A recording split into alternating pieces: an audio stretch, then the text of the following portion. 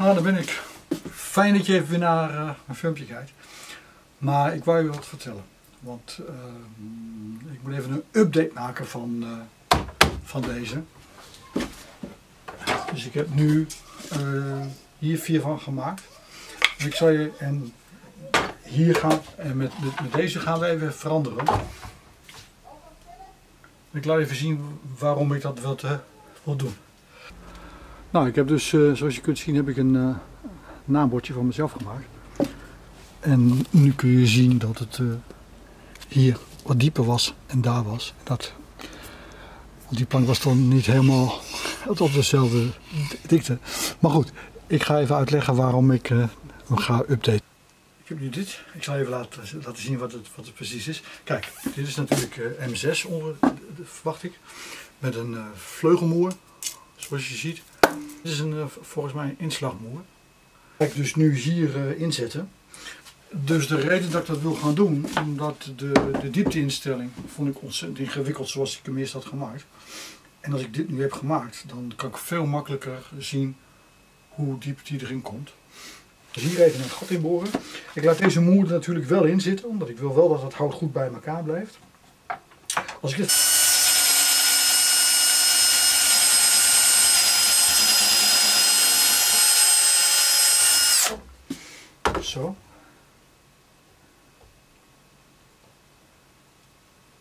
Met zo eentje van tevoren nog even erin te gaan.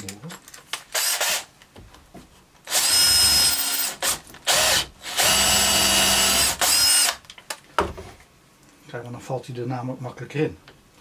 En nu kun je hem er met een uh, inbussleutel.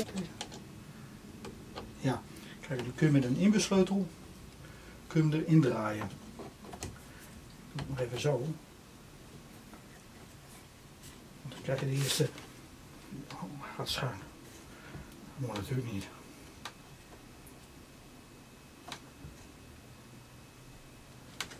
Ja, zo gaat hij goed.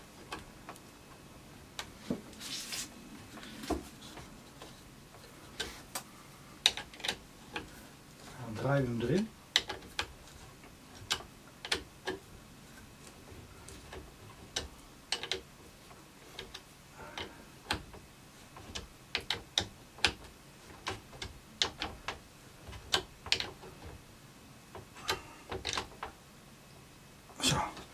Ja, ik had dus als, ik, als ik dit dus uh, eerder had geweten, had ik de hele sleutel niet hoeven te maken. Dan ga ik hier even uh, zo'n stukje van afzagen.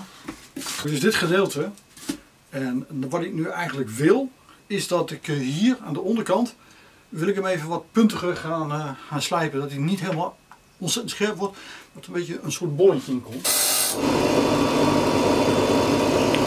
Kijk, nou is die wel heel scherp. En dan haal ik die scherpte er even af.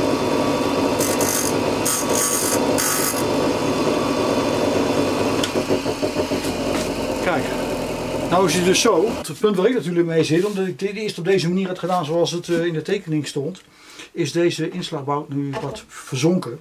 En uh, als je hem natuurlijk deze gleuf niet eerst maakt en je boort hem er meteen in, dan zit hij natuurlijk wel perfect.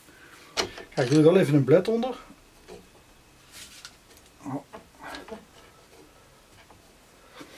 Dan draai ik hem erin. En dan doe ik er eh, aan de onderkant ook even een eentje, eentje onder. Dan draai ik deze, deze moeder onder tegenaan.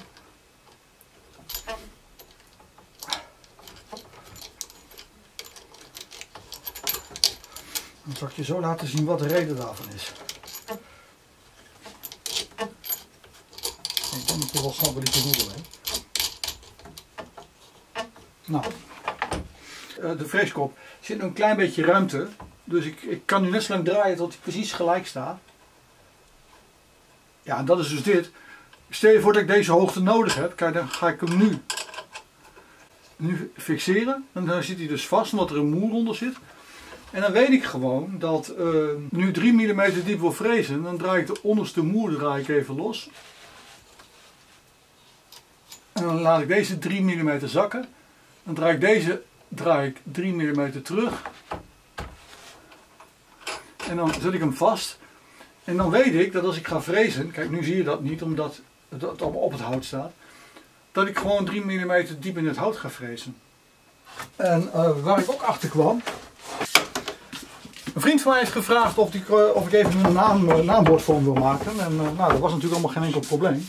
Een vriend van mij heeft gevraagd of ik even een naambordvorm wil maken. Nou, dat vind ik natuurlijk helemaal geen enkel probleem. Dus ik ga het even, ik ga het even inleggen.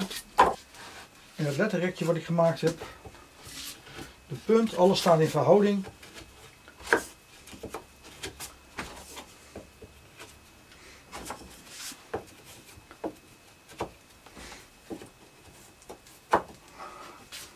Kijk, dan wordt dit dus het, uh, de naam die ik moet gaan maken. En dan zet ik de tweede zet ik er bovenop.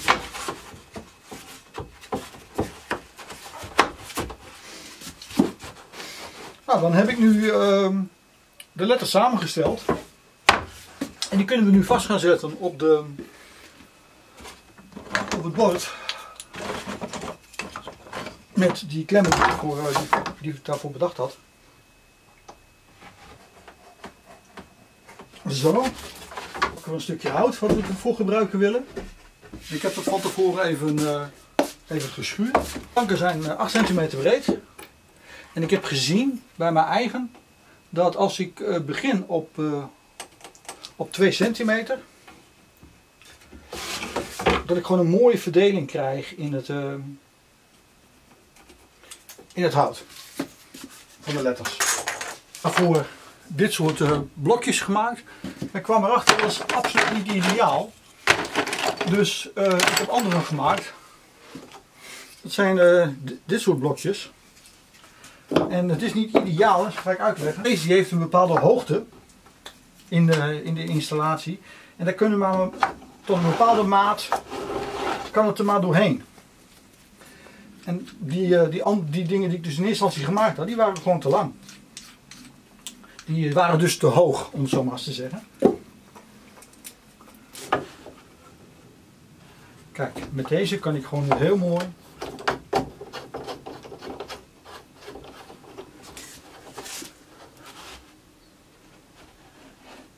Ja, die ligt, die ligt goed. Dus dan zet ik hem vast. Dan ligt hij dus op de, de onderkant van de letter. En op het markeringspunt waarvan ik zeg, daar wil ik hem laten beginnen. Dan draai ik hem vast.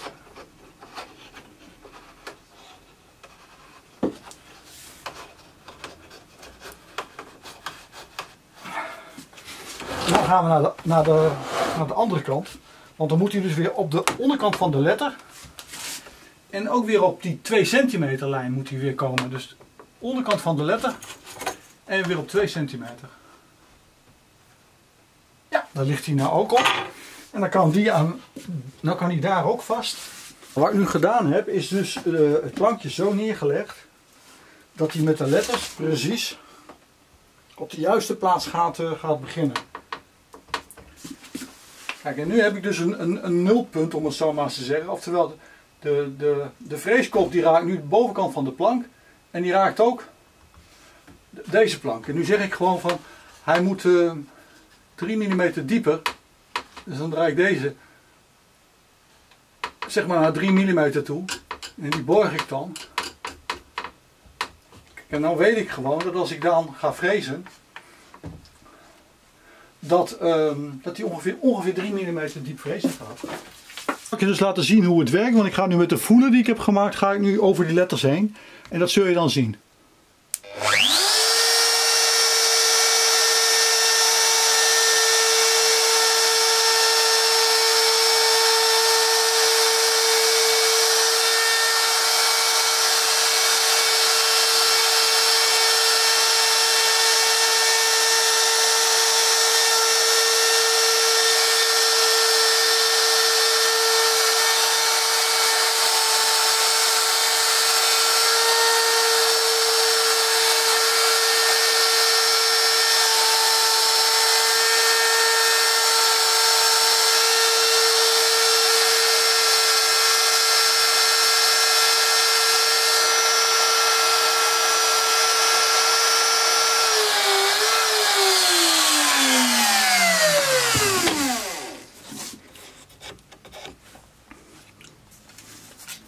Nou, nu zie ik dus gewoon dat hij, uh, kijken of het het goed in beeld kan brengen. Maar ik vind die vrees niet diep genoeg gaan. Dus hij moet ietsjes dieper worden ingesteld. Dus dat betekent dat uh, die pen moet ietsjes verder omhoog. Dus deze moet los. En dan moet hij die... Ja. Dan moet hij weer vast.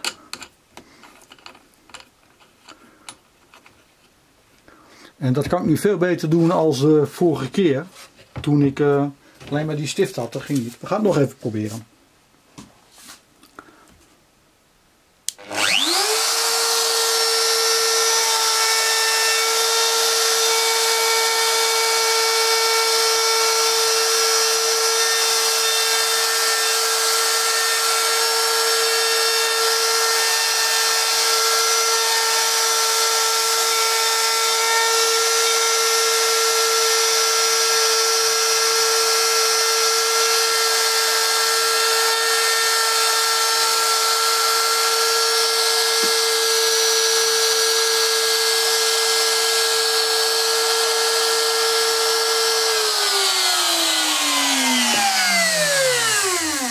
Nou, ik ben bijna tevreden. Moet nog een klein beetje dieper.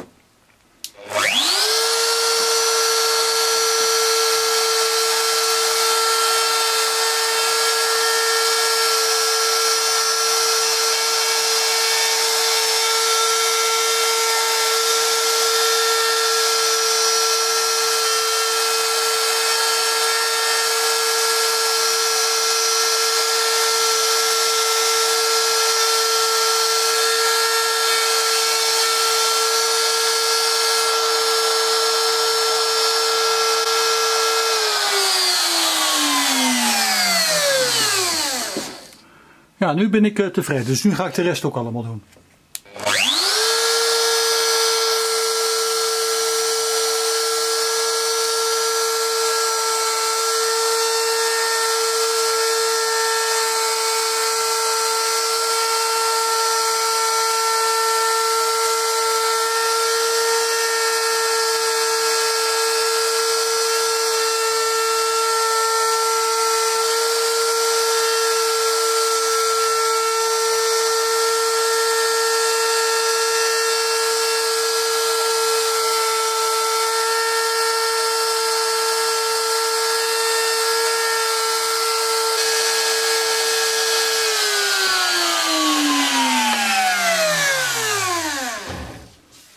Dit is gedaan, dus dan kan deze klem weer los. En de andere ook natuurlijk.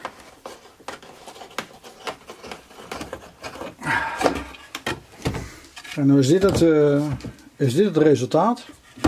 Dan gaan we er even een stukje van afzagen. Nou, dan is hij zo. De stukjes hout eruit snijden waarvan ik denk, hé, hey, dat, uh, dat zit toch niet helemaal netjes. Ik moet zeggen van, Kijk, hier zit een stukje.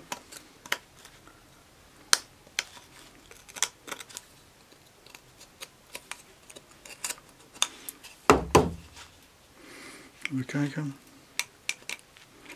Dan krijgt die vrees het er net niet helemaal mooi uit. Het is trouwens een 60 graden vrees die ik daarvoor gebruik.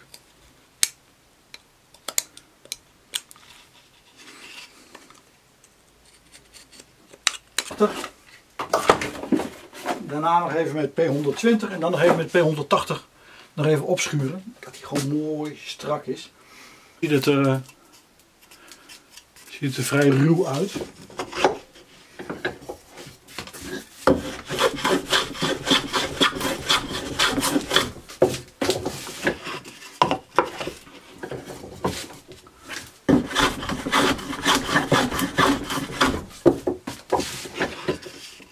Kijk, nu ziet er gewoon een stukje beter uit.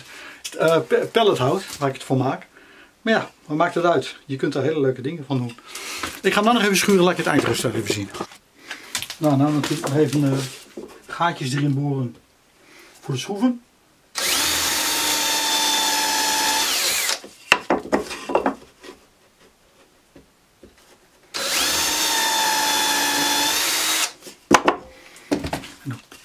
Even weer met schuur overheen natuurlijk. Zodat de potloodsteekje even weg is.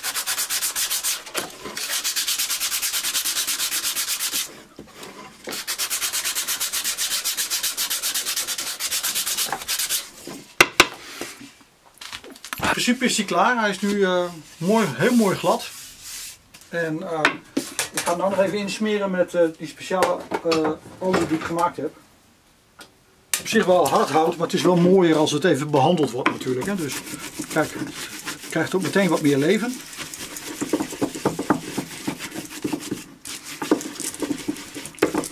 Ook daar waar ik gevreesd heb wil ik natuurlijk even... dus dat tamponeer ik wat.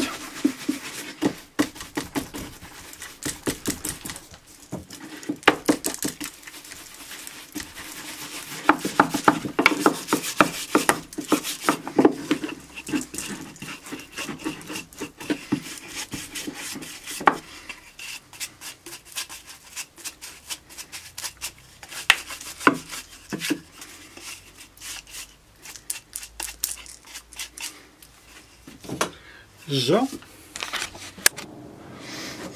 En uh, met een microvezeldoek poets ik het dan even uit en wrijf ik het even op.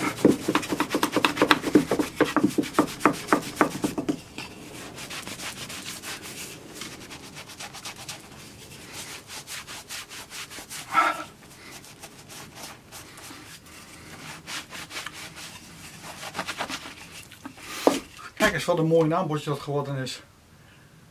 Voor buiten dat ik die update even heb gemaakt voor die, eh, voor die pentograaf. Dat je dat ook even kunt zien. Want ik moet zeggen, ik ben daar nu eh, heel tevreden over. Nou, ik zal morgen even aan hem geven. Ik ben benieuwd wat hij er zelf van vindt. Uh, in principe, kijk, hij is voorgeboord. Dus schroefjes erdoor, plugjes in de muur. En dan kan hij zo buiten op de gevel. En ik verwacht dat hij daar jarenlang kan blijven hangen. Want het is, ja, wat ik al zeg, het is gewoon een stukje hardhout. En dat is in een pellet verwerkt. En dat is toch, ja, toch zonde. Daar zat op de bodem zat, uh, zat ook hard hout. Kijk, moest kijken wat een mooie, mooie planken je daarvan kunt maken als je dat uh, een beetje tijd, een beetje moeite aan geeft om dat uh, te behandelen. En hier ga ik bordjes maken voor in het bijenbos wat we hebben. Waarbij ik ook een keer een filmpje heb gemaakt op het kanaal, wat je hebt kunnen zien. En er staan allemaal verschillende bomen. En die bomen die krijgen nu allemaal mooie kleurtjes en naambordje. En ik dacht van weet je wat, ik ga het mooi van hardhout maken, want dan is het lekker stevig, dan breekt het niet zo makkelijk af.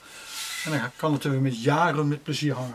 Ik heb nu een, hele serie bordjes gemaakt. Die zijn allemaal voor eh, de bomen die in ons, uh, ons bijenbos staan. Ik moet zeggen, ook met die update die ik even heb gemaakt, viel het me reuze mee. Ik heb het allemaal van uh, hardhout gemaakt. En dat zijn allemaal stukken die van pellets afkomen.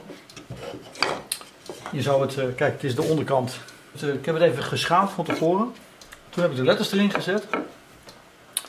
Uh, ik heb het daarna, toen het klaar was, weer even geschuurd met, uh, met, met P80 en met P120.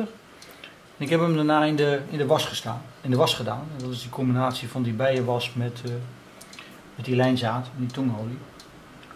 Maar ik moet zeggen, ik ben er, ik ben er wel tevreden over. Ook van zoiets wil ik wel, wil ook, ook wel eens gaan maken. Dat lijkt me ook wel leuk. Ook al zal het alleen maar je naambord zijn zoals ik het ook heb gedaan. Dan weet je nu hoe je het, hoe je het kunt doen. Dus ik hoop dat je een interessante video vond. Geef even een duim als dat zo is. Heb je nog vragen of opmerkingen, kan het even hieronder. Ik zou zeggen bedankt voor het kijken en tot de volgende video.